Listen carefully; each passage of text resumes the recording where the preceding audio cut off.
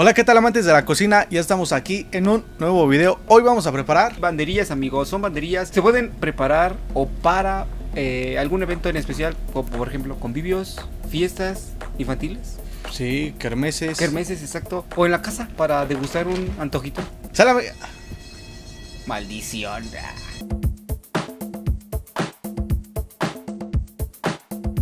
Ok, sí, vamos a darle, amigos. Sale, no hay que perder más el tiempo. ¡Vámonos!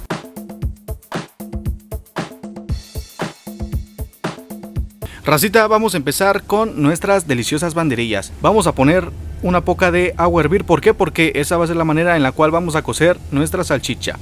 Vamos a agregar unas hierbas de olor, las cuales constan de un poquito de mejorana, tomillo, de laurel. Y ya, con eso. Y ahora vamos a agregar nuestras salchichas, amiguitos. Aquí las salchichas, pues que más les gusten a ustedes, ¿no? También obviamente hay que agregar la cantidad, pues las cuales pues vamos a preparar. Porque por cada salchicha es una banderilla. Perfecto, vamos a dejarlas hervir y mientras raza vamos a ir preparando nuestra masa para nuestras banderillas. Vamos a agregar harina para hot para hot cakes, amiguitos. para hot cakes, hot cakes. Aquí la verdad pues las cantidades van a variar un poco porque esto va a depender de la cantidad de banderillas que hagan en casita. También vamos a agregar una pizca de cebolla en polvo y una pizquita también de ajo en polvo. Seguidamente vamos a agregar un blanquillo o en este caso un huevito. Y también vayan preparando un poquito de fécula de maíz. ¿Cuánto de fécula de maíz? Pues igual una, una pizquita, ahí más o menos vayan variando, pero nosotros aproximadamente agregamos para 14 banderillas, para 14 banderillas agregamos 350 gramos de harina de hot cakes y más o menos media cucharadita de fécula de maíz. Vamos a agregar también una pizca de sal, Aquí lo que le va a dar volumen a nuestras banderillas es agua mineral, amiguitos. Así es, agua mineral.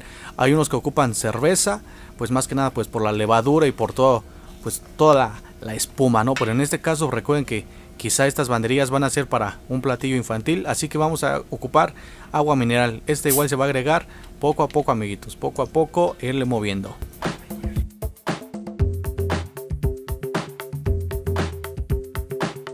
Vamos a ir agregando a modo de que tengamos pues sí una masa como tipo para pastelillos, para hot cakes.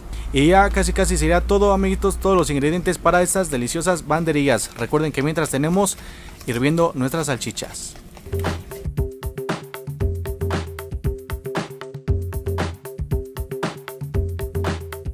Raza, hemos terminado de preparar ya nuestra masa para nuestras banderillas y como ven esta tiene que ser la consistencia correcta. Tiene que estar un poco espesa para que se adhiera bien a nuestra salchicha y no tengamos huecos a la hora de freír. No tiene que estar muy líquida, pero tampoco no muy espesa. Ahora sí que pues algo así más o menos, amiguitos.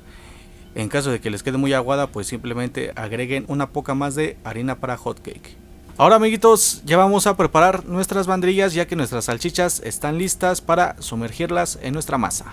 ¡Vámonos! Raza, hemos sacado ya nuestras salchichas, como ven ya están cocidas, ya están herviditas. Y ahora, amigos, hace falta meterles el palito. Bueno, nosotros, amigos, aquí vamos a ocupar palitos de estos que son para, pues, para moverle a nuestro café, ¿no? Nada más le mochamos un poquito, los, hicimos un poquito más cortos y en la parte de aquí de la punta vamos a sacarle un poco de filo con ayuda de nuestro cuchillo. Vamos de que crear más o menos como una lancita para que no le cueste trabajo al palito entrar en la salchicha. Vamos a meterla aproximadamente a esta altura raza, algo así. Si las metemos como a la mitad o incluso un poquitito más para acá, pues corremos el riesgo de que pues, se aguade, ¿no? Se aguade y pues hay que hablarle bonito pues, para que se ponga chida. Así que por eso, más o menos como tres cuartos o un poquito más arriba de la mitad. Así que introducimos el palito con cuidado. Y perfecto. Tenemos nuestra banderilla raza. Y así con todas nuestras salchichas que se van a volver banderillas. Vamos a agarrar nuestra banderilla ya desde el palito, la vamos a pasar por nuestra masa que quede bien cubierta amiguitos. Vamos a ayudarnos hasta incluso del globo o si no de una cucharadita. Le quitamos el exceso y previamente ya tenemos nuestro aceite bien caliente. Y como va, así, directa, vamos a agregarla.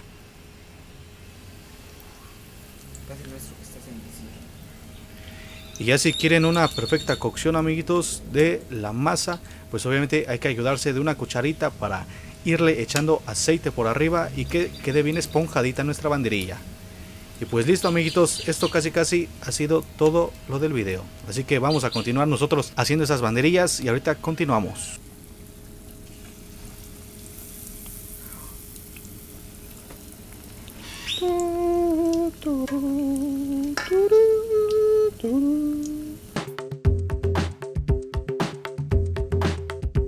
Mayonesa en mi cuerpo, la katsu en mis pe... ¡Ah! Lanzamientos. Bueno, llenos de tu carita bonita. Este, ya quedaron las banderillas este, listas para el convivio que ahorita vamos a tener. Este, ya llevamos no sé cuántos suscriptores. Ahí vamos, poco a poco ya casi Este- llegamos. Nuestra meta son mil. Uh, a mí se me antoja con un bolillo, frijoles, la brocheta, bueno, esta cosa, y gratinado. Y ya te agarras tu bolillo y a comer. Con pico de gallo, claro. y ya vamos a comer. Nosotros ya tenemos aquí unas preparadas, preparadas, preparadas. Nada más tengan cuidado con el palito, ¿eh? Ahora sí que a la hora en la que muerdan la salchicha tengan cuidado con el palo.